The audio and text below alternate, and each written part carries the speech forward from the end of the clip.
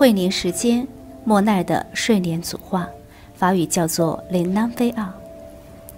我们知道啊，法国印象派画家莫奈所绘的以睡莲为主题的系列油画作品，总共有两百多幅。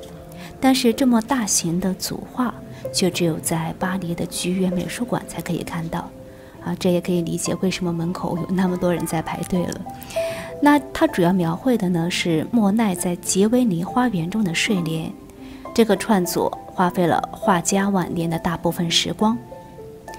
莫奈他很擅长光与影的实验与表现技法，他最重要的风格之一就是改变了阴影和轮廓线的画法。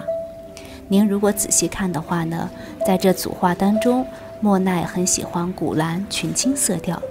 这种大自然中常人很难发现的颜色，在艺术家眼里却是无处不在。这种艺术处理的蓝色光影也使人着迷。下一节的话呢，我们去看一个现在巴黎人都奔走相告啊，然后呢趋之若鹜的一个展览。惠宁时间，法国巴黎。